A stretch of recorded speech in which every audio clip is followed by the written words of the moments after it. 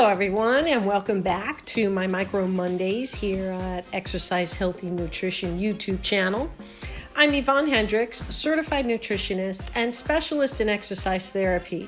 And each Monday, I've been featuring a micronutrient that our human body requires to sustain optimum energy and enhance a healthy lifestyle. Now, this week, we are featuring vitamin C.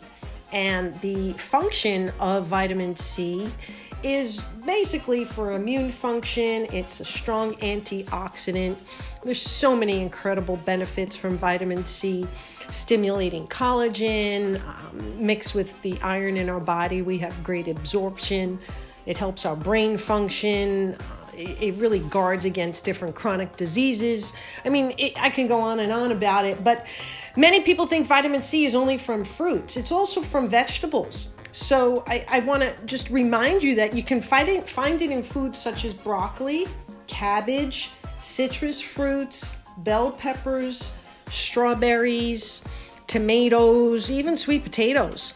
Uh, but you can also find it in over 200 recipes containing all of the micronutrients and macronutrients in my five star rated award winning book.